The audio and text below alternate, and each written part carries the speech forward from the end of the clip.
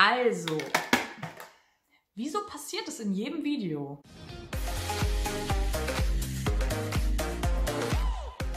Jo Leute und cool, dass ihr zu einem neuen Video mit am Start seid. Und falls du jetzt denkst, Vivi, die 90er haben angerufen, sie wollen ihre Haare zurück.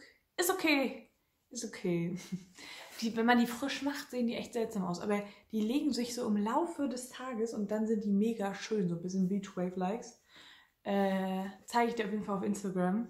Solltest du mir folgen. Deine Videos gehen immer besser los, Vivi. Jetzt fängst du mit Eigenwerbung an. Jedenfalls habe ich hier die Glossybox stehen und ich habe gedacht, die packen wir direkt mal zusammen aus. Ich sehe übrigens so aus, nicht weil ich äh, dachte, heute habe ich ganz viel Zeit und richtig Bock drauf, sondern eher, weil meine Mom Geburtstag hat und wir da gleich hinfahren. Ich habe übrigens keine Ahnung, wie immer, was das Glossybox-Thema ist. Natürlich nicht. Ja, das ganz normale Glossybox-Design. Das ist schön der Hintergrund, oder? Komm mal, das andere machen wir hier hin. Ah, es ist ja nicht auszuhalten. So sieht es jetzt erstmal aus. Also wie immer. Ich bin richtig motiviert, was ich hier mache. Und jetzt machen wir noch mal schnell meine chirurgischen Fähigkeiten hier. Ah, ohne dass es reißt, du. Ohne dass es reißt. Wow, okay, das ist schon mal sau cool, das erste, was ich hier sehe. Ah, ich bin gespannt, was du sagst. Ich glaube, da muss man ein Typ für sein. Ich hole euch mal ein bisschen runter. Also, das erste, was ich hier aus der Box hole, sind diese Your Facial Mini Scrubber with Smart Technology. Gentle, in der Stärke Gentle. Ähm, das sind so eine Abschminktücher, glaube ich. Oder in dem Fall ist es, glaube ich, so ein Peeling-Tuch. Aber es gibt es auch als Abschminktücher und so. Und das ist auf jeden Fall schon mal sehr cool, finde ich. Ich finde Alternativen äh, zu finden zu sein, die weniger Müll machen, finde ich immer gut. White Peach Koriander. Okay, was habe ich hier in der Hand? Ich habe hier zwei. Ein Aroma-Erfrischungstuch und ein Aroma-Erfrischungstuch. Wofür brauche ich Aroma-Erfrischungstücher? Hat mir in meinem Leben bisher noch nie gefehlt, aber sag du mir doch gerne, ob du sowas brauchen würdest. Das nächste Produkt, was ich hier aus meiner Box hole, finde ich grundsätzlich erstmal cool, werde ich aber nicht behalten. Das ist von Wolke 7 von Vanessa Mai. Das ist ja gerade so eine Alverde-Kooperation. Und äh, das ist hier so ein, ja, riecht auch ganz gut, ein Labello mit Pflegekern. Ein farbiger Labello mit Pflege Pflegekern. Ich weiß es nicht genau.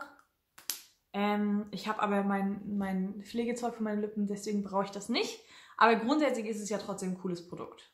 Ich presche hier heute auch durch, ne? Aber wir fahren ja gleich zu meiner Mutter und ich muss das Geschenk noch einpacken. Und es ist nicht so, du hast was und du packst es ein, sondern so richtig mit auf so einen Pappboden kleben und so krasse Folie und oben zusammenschnörkeln und so. Und ich habe gedacht, ich will aber das YouTube-Video jetzt noch drehen, damit ich am Sonntag mich ganz entspannt hinchillen kann, mich nicht mehr schick machen muss. Schick ist halt so, liegt im Auge des Betrachters. Ich glaube, ganz viele finden die Haare nicht schick. Und es einfach ganz entspannt schneiden kann, weil schneiden kannst du halt immer. Ich könnte mich auch wie ein Assi vor die ähm, Kamera setzen. Würde euch wahrscheinlich auch nicht jucken. Würde so ein bisschen für mich sprechen. Aber genau, deswegen war mir das nochmal wichtig, dass ich das jetzt noch mache. Deswegen presche ich vielleicht auch ein bisschen durch. Also, Wieso passiert das in jedem Video? Das nächste, was ich hier habe, ist von Eiko. Eiko? Eiko. wahrscheinlich Eiko wegen Auge. Wahrscheinlich, sehr wahrscheinlich wegen Auge. Also von Eiko. Ähm, Black Magic Mascara. Cool. In meinem letzten Video, verlinke ich euch auf jeden Fall mal hier oben, äh, gab es auch so eine Mascaras aus so einer Tube, aus so einer Tubenform. Also schon anders, aber ist doch wahrscheinlich eine Mascara, ne? Ja. Oh, sogar mit leichter Krümmung. Das ist ja geil. Das finde ich echt cool. Da bin ich mal gespannt drauf. Mit so einer leichten, natürlichen Krümmung. Ja, das aus diesen Tuben, glaube ich, wird immer moderner hier, du. Also über Mascaras jeder Art freue ich mich immer. Ich benutze ja äh, die Benefit Mascara mit Überzeugung. Aber ich bin da nicht festgefahren, ne? Also wenn es eine coole Mascara gibt, die mich überzeugt, dann löst das Benefit ab, ganz klar. So, das nächste, was wir hier rausholen, ist ähm, 8x4. ich kenne die Marke, aber ich habe sie noch nie ausgesprochen. Das klingt jetzt irgendwie seltsam. 8x4. Das ist ein Deo. Velvet Blossom. 24 Stunden. 24, 24, steht da nicht. Steht 48, aber ist okay. 48 Stunden zuverlässiger Deodorantschutz, Dermatologus bestätigt. Bla bla bla. Eigentlich würde ich das gerne mal. Ach, muss es auch noch aufdrehen. Oh ja, das riecht sehr blumig, aber finde ich gar nicht so schlecht. Ich nutze halt immer einen Roller eigentlich. Früher, als Jugendliche, habe ich mir gedacht, Roller? Gott, das was für alte Frauen. Shame on me, ich ähm, liebe Roller jetzt. Ja, aber das werde ich auf jeden Fall in meine Sporttasche oder so machen. Würde auch eine ganze Weile halten, weil ist jetzt nicht so, dass ich oft zum Sport gehen würde. aber dafür ähm, ist es, glaube ich, ganz gut. So, das nächste, was ich hier habe, ist ein Concealer. Das ist natürlich saucool. Anti-Winkle, vegan. Ich habe hier irgendwie Eyeliner an meinen Fingern. Das ist irgendwie nicht sehr ästhetisch. Also der sieht so aus, das ist die 002. Neutral fair. Und es hat hier vorne so einen Böffel, Leute. So ein Böff, Böff, Böff, Böff, Böff, Böff, Böff, Böff. Ja, weiß nicht, ob man das irgendwie erkennen kann. Böffel halt. Wie sagen denn andere Menschen dazu? Wahrscheinlich nicht Böffel. Ich glaube, da muss man das hier unten drehen. Ja. Neue Concealer ausprobieren finde ich auch immer saucool. Trage ganz häufig auch nur Concealer ohne Make-up. Also heute trage ich auch Make-up, aber ganz häufig trage ich auch nur Concealer für Augenkaschieren. 3000 Jahre später. Ah, okay, der ist sehr hell. Aber der könnte gut für mich funktionieren. Ich weiß natürlich jetzt nicht, ob der noch oxidiert hier. Ich bin halt auch kein Profi, ne? Aber ist eigentlich ganz schön. Ja, das ist doch mal ein geiles Produkt für mich. Fühlt sich auch sehr sanft an. Schön! Werde ich ausprobieren hier. Ausgiebig testen werde ich es. Riecht sehr neutral. Und dann sind wir auch schon fast wieder durch.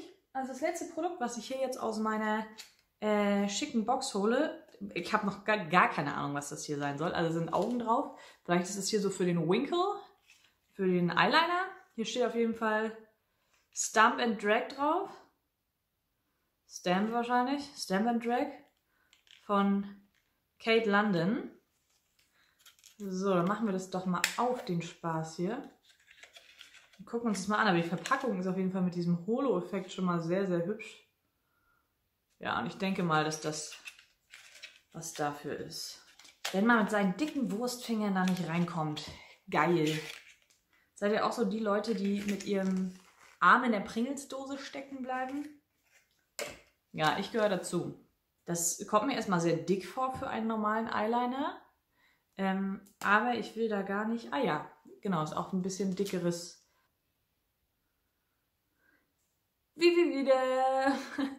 ja, also ähm, jetzt mache ich mal kurz meinen Ärmel hoch, sonst geht es hier gleich schief. Also das ist schon mal, ich habe noch nie so ein dickes benutzt, aber das ist mal interessant, das zu testen. Nein, hör auf. Da ist so ein Stempel dran. Hör doch auf.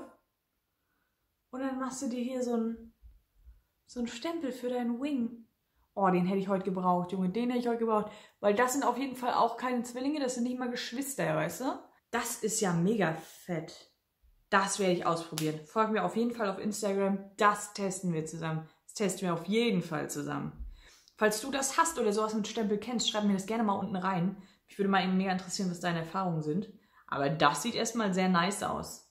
Und dann werden sie wenigstens gleich. Vielleicht nicht auf einer Höhe, aber gleich. Eine Höhe ist bei mir auch so eine Sache.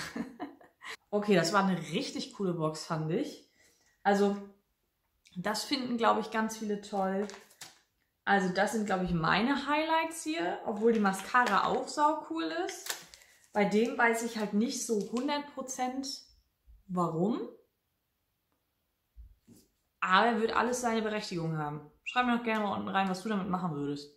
Und ihr schreibt nicht dich erfrischen, weil wenn du dich im Gesicht erfrischst, dann ist dein Make-up weg. Und weiß ich nicht, ob das eine Erfrischungstücher für die Arme sind. Das wäre, also für die Achseln. Das wäre natürlich dann irgendwie plausibel. Aber dann kannst du halt, also ja, doch, wenn es dafür ist, dann geht es eigentlich klar. Ich habe gedacht, kannst auch ein Deo nehmen, aber dann überdeckst es halt bloß, dann bist du ja nicht fresh. Also, wenn du das weißt, oder vielleicht erzähl mir das das Glossy-Magazin auch gleich. Wenn das für die Achseln ist, ist das cool. Wenn es nicht für die Achseln ist, wäre das irgendwie seltsam. Aber an erster Stelle steht hier Alkohol. Glaubst du nicht, das brennt vielleicht unter den Achseln? Wenn es da drin nicht steht, wissen wir, dass ich es ausprobiere und wir wissen auch, dass es bei mir brennen wird, oder? Ja, dann wie gesagt, Deo, denke ich, brauchen auch genug Leute. Und das hier finde ich halt auch richtig spannend. Jomedo, das war doch äh, erfolgreich. Das war doch eine coole Ausbeute. Und ich mal gucken, ob es jetzt, ja, also es ist auch komplett, komplett fest vor Reibung. Also klar, ein bisschen verliert es schon, aber es wischt halt nicht. Das ist auch wichtig immer. Weil wie oft gehe ich darüber und denke, nein, du hattest was drauf. oft.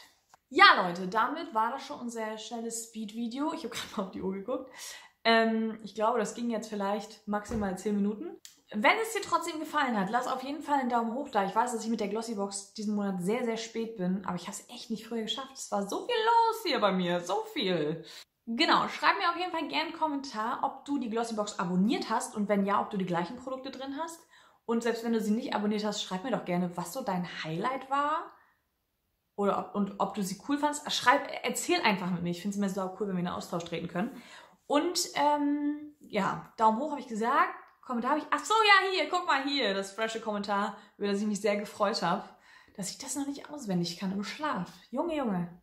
Danke auf jeden Fall an dich und an alle anderen, die immer so fleißig kommentieren, liken und einfach da sind. Das ist toll.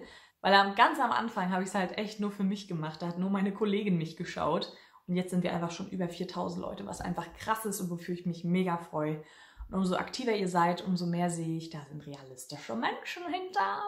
So, aber jetzt äh, ist auch aus die Maus Schluss. Äh, Kuss. Schlusskuss.